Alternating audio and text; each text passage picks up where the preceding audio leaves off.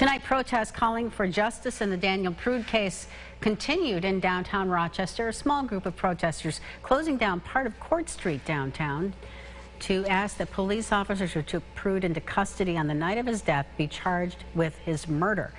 The protest ended at Martin Luther King Jr. Memorial Park.